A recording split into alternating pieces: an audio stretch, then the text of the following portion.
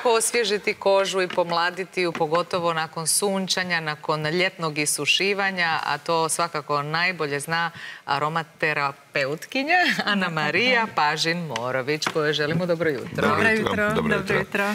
E, vi ste nam zapravo donijeli nekoliko tu e, još ne gotovih preparata, je tako, za njegu kože nakon mhm. isušivanja ili prije ili poslije. Tri su zapravo e, posebna preparata, je li tako? Tako o čemu je, tako je, da.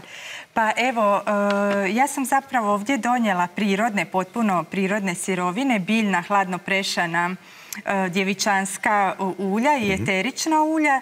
Znači stvari koje uglavnom ima svako domaćinstvo, jogurt, e, sodu bikarbonu. Evo tu je jogurt, da, soda bikarbona i kokosovo ulje. Tako je, da. I od toga ćemo napraviti jedan mali kućni ritual, znači peeling za lice, jednu masku za lice i jedan serum za njegu lica i masažu. A hoće li nam pri tome otići ova lijepa boja koju ima Ne, ne želimo da ode lijepa boja. Ne, ne, ne, ne, ne. E, tako ćemo, s tim pripravcima ćemo zapravo unaprijediti i osvježiti taj prekrasan ten koji imate. Evo Mirko, možemo krenuti onda s tobom. Dobro, prvo ćemo raditi peeling, je tako? Da, tako je. Tako ovako, peeling za lice, za mhm. to nam treba jedna žličica kokosovog ulja, jedna trećina žličice sode bikarbone i jedna kap eteričnog ulja lavande ili, geranija ili smilja. Znači može ovoga bilo koje eterično ulje za njegu kože. A zašto to baš? E, pa evo, znači e, eterična ulja su nam u prirodnoj kozmetici zapravo aktivne sastavnice. Mhm. Znači ovoga i evo konkretno lavanda, ja ću staviti lavandu jer je svima dostupna. Bitno je da bude prava lavanda, znači mhm. lavandu lavera.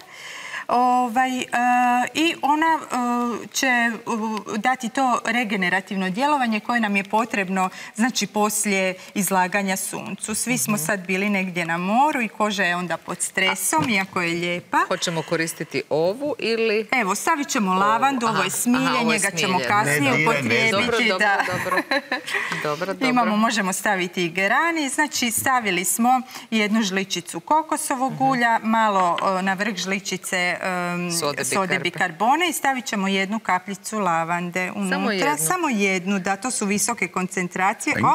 E sad me zanima koji će miris prevladati, lavanda e. ili kokos? Ajde, recite mi. Mm, stopili su se...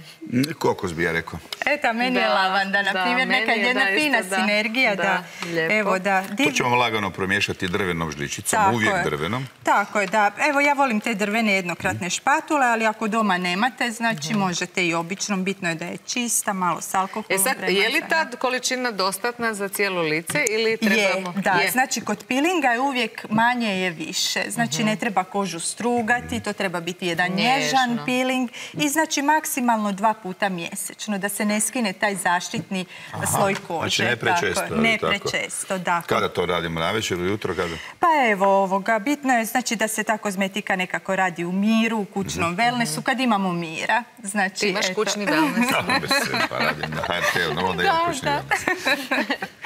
Dobro. Dobro, to smo peeling znači, sad. Peeling. Na čistu kožu lagano ispilingiramo lice, isperemo ga i onda poslije toga ide jedna prefina hidratantna maska, mhm. jako jednostavna, od jogurta. Jedna žlica čvrstog jogurta, jedna kap eteričnog ulja, prave lavande i samo to, jel? Tako je, tako je. Znači, bitno je da jogurt bude hladan, mhm. po mogućnosti neki domaći. I opet jedna. I stavit ćemo jednu kap, znači prave lavande. Inače, lavanda je super baš za tu mhm. njegu poslije izlaganja suncu.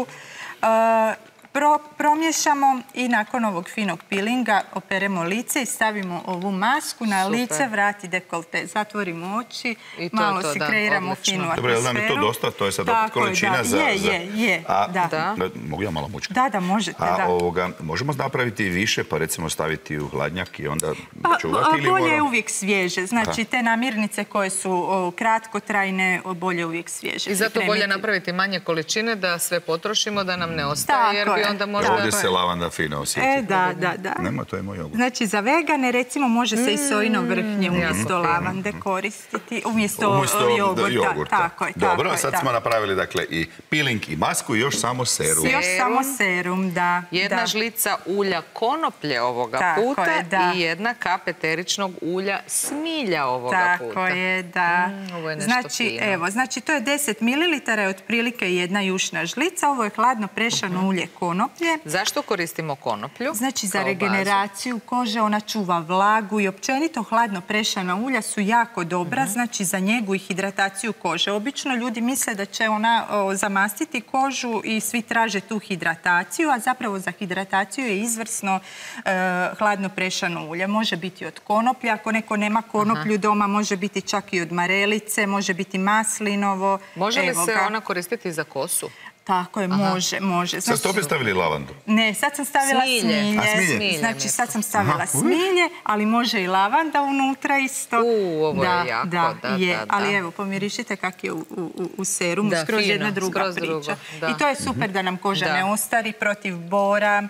I to, stavimo zadnje ili kako? To stavimo zadnje, operemo masku i laganom masažom, znači umasiramo tu mješavinu Mhm. ovoga u lice, vrat i dekolte. Uvijek pazimo da su Nam to pokreti prema gore. ili je to, to- može umjesto Aha, kreme, super, tako je. tako. Samo na lice ili to možemo koristiti i za E, druge Pa dijelove možemo tijela? znači koristiti i za ruke, i za vrat, i za dekolte. Znači ako bi radili za cijelo tijelo, onda bi stavili znači pola deci Mhm. i stavili bi recimo jedno dvadesetak kapi smilja unutra. Tu možemo malo pojačati koncentraciju i namazati I cijelo vidite tijelo. koliko toga zapravo malo treba da bismo... Pa kad je jedna e, kap i onda cijeli studio miriše sada. Da, zapravo da, da, imate da. Ove, toliko proizvoda i osjećate se i fino, ovaj, mekano i osvježeno i boja se bolje vidi, rekli ste. Tako je, tako je, da i to je živa, prirodna kozmetika koja, koju naša koža jako voli.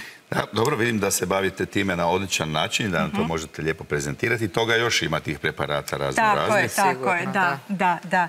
Ovoga, o- o- većina preparata prirodnih se može napraviti i u kućnoj radinosti, znači, pa tako umjesto kreme se može staviti, na primjer, maslinovo ulje za jako suhu da, da. kožu, na mokru kožu nekoliko kapi, evo vidjeli smo Pa jogurt, i samo maska. kokosovo, recimo Tako maska od kokosovog ulja na kosi je fantastična. Da vidiš, Tako držiš to dva sata i ne bi Hendrix. vjerovao. Hendrix. Tako je, tako je. I Imate- za kožu imate radionice isto? Imam i radionice, imam i jedan mali studio za aromaterapiju, znači i općenito motiviram žene i muškarce ovoga, da se posvete sebi, da odvoje vrijeme za sebe, znači i da se njeguju prirodno. Ja uvijek kažem, moj moto je živa kozmetika za živog čovjeka. A kako se može doći do vas?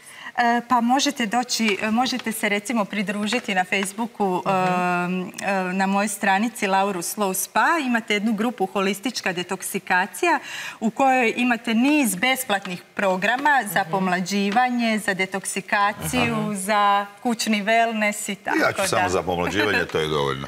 Eto,